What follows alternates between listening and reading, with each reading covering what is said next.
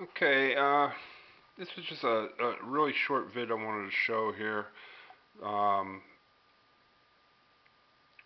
what, I, what I'm kind of concerned about is how, what, why I'm getting this, uh, it seems to be a lot of current coming from my back EMF, um, and making my diodes that I'm cat that I was capturing on this board uh, get actually pretty warm.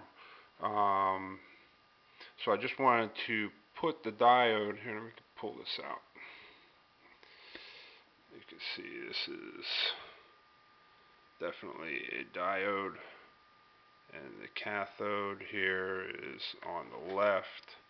Uh, I get these out of, I, I do uh, car amplifier repairs so I, I, take some parts out of there to use for some of this stuff.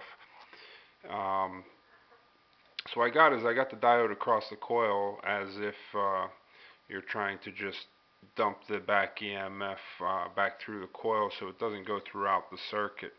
Um, right now it's cold. Uh, we're going to bring the reed in. Let's just give it a little spin. Let this thing spin up.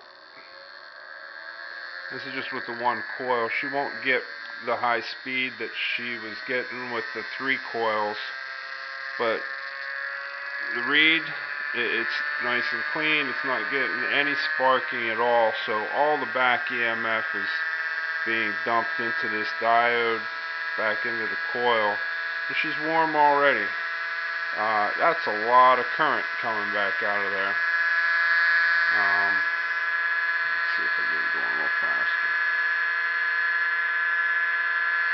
these reeds they're big and they, have uh, they have resonance spots uh, points and uh, rotor seems to uh, go into uh, upper RPMs and little jumps. Yeah, she's hot. The diode is hot. Now, if the diode was shorted, uh, this wouldn't be working. The diode is directly across the coil. This wire here. Um, there's no sparking. If I take the diode out, you can see my reed. Uh, come on. There you go. But uh, you, you see the sparking on the reed because the back EMF is jumping back across the reed.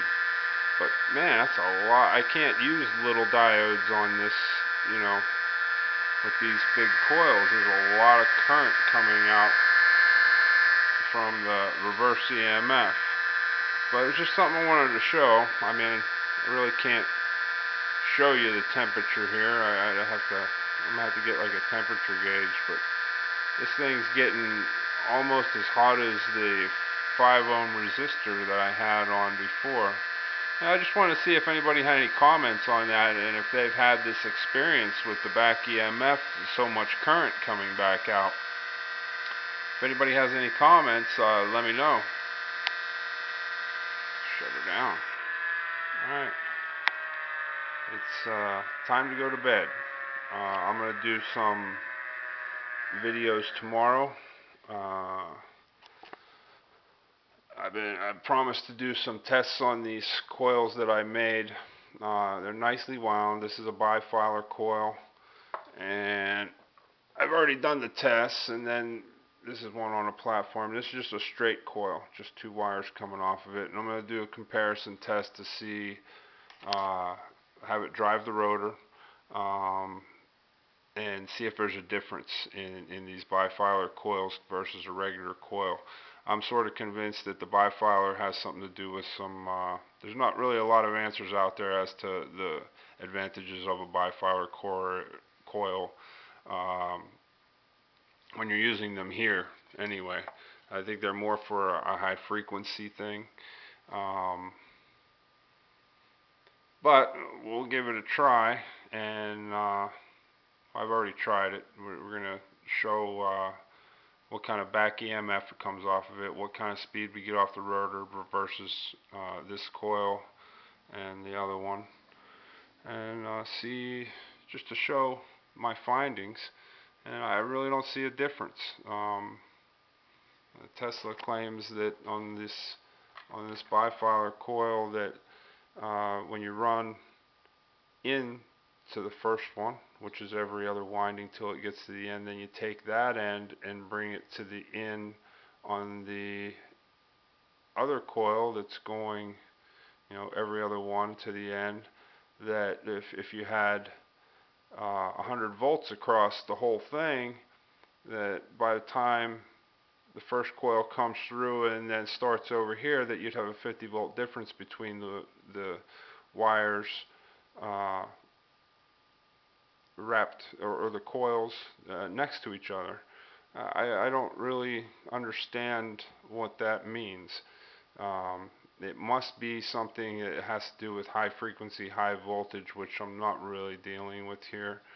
But uh, it was an interesting uh, thing to play. I've tried a lot of different things to try to see if there's any advantage to these, and I, am just not seeing it, um, as in uh, any magic or anything like that.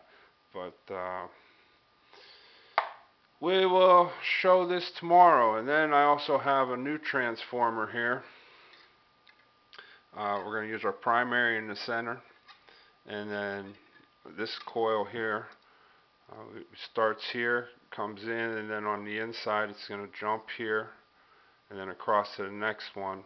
I'm having an idea that maybe if my primary takes on uh, some pulses, that instead of radiating outwards towards another coil where they'd be wrapped on top of another that maybe when it creates its its magnetic field that uh, maybe it'll generate more power uh, through the secondary. Uh, just from something that I've read, it's just something I'm going to try. Um, there's 10 windings in the middle and there's 10 windings here and 10 windings here. So if it does amplify power, um, I should get twice as much voltage and current on these. But I'm not sure. We're going to give it a shot. I'll do that when I do uh, my videos of the bifilar coils. I also have, I don't have it here, I don't know where I put it. Maybe Kitty took it. Um, I'm to have to find it. Uh, a pancake coil that do a little demonstration on whether it has any uh, drag effects when shorted. Uh, I don't see much use in those coils either. Um, but we're going to show them tomorrow. Alright, thanks guys.